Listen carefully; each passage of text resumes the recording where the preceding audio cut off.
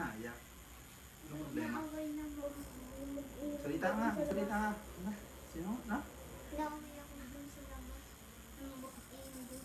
Nawi ka? Rest pa ka natin.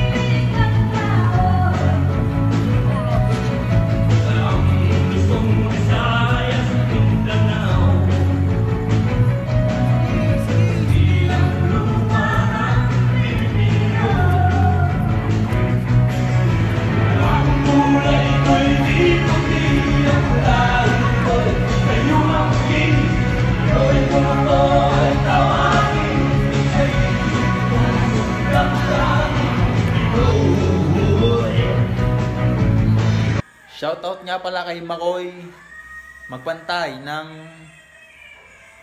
Barangay 4 Slaughter.